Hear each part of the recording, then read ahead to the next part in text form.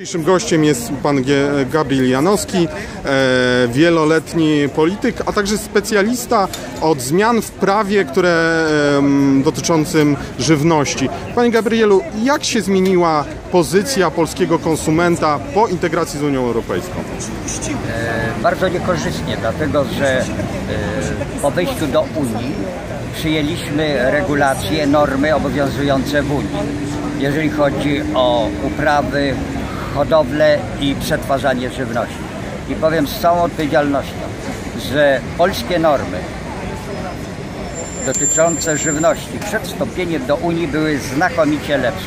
My nie dopuszczaliśmy e, rozmaitych syntetycznych barwników, emulgatorów, konserwantów, co Unia Europejska e, no, dopuściła, dopuszcza i my przejęliśmy niejako również, a jesteśmy więcej zobowiązani te normy stosować.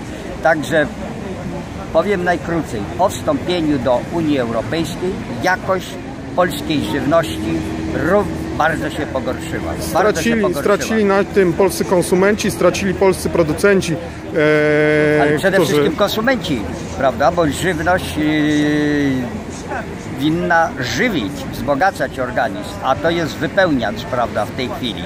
I to jest, powiedziałbym, bardzo, bardzo niebezpieczne, bo my sobie, mówiąc tak obrazowo, trzy razy dziennie dawkujemy yy, małe ilości trucizny, no a jeżeli to się kumuluje, to później efekty są takie, jak widzimy, prawda, Yy, rozprzestrzeniające się yy, choroby, w tym, prawda, rak e, potworkowatość płodów, wiele innych naprawdę e, bardzo, bardzo, bardzo dzisiaj jeszcze nie do końca ujawnianych, prawda?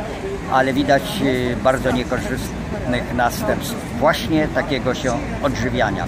Stąd uruchomiłem taki program nawet, prowadzę teraz PQF Polish Quality Food, Polska Jakość Żywności, by zwrócić uwagę i konsumentom, e, konsumentów i producentów że trzeba zmienić trochę właśnie i styl odżywiania się, to po pierwsze, po drugie jednak e, zmienić również z tej takiej bardzo przemysłowej formy przetwarzania żywności na, na bardziej naturalną.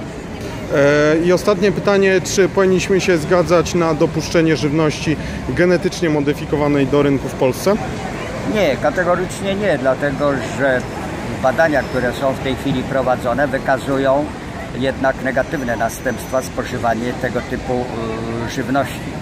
I dlatego Polska powinna być strefą wolną od GMO, co dałoby nam, powiedziałbym, pewne przewagi. Yy, bo dzisiaj ludzie rzeczywiście coraz częściej domagają się i szukają dobrej żywności. Tak na marginesie yy, Rosja nie dopuściła na swoje terytorium yy, GMO.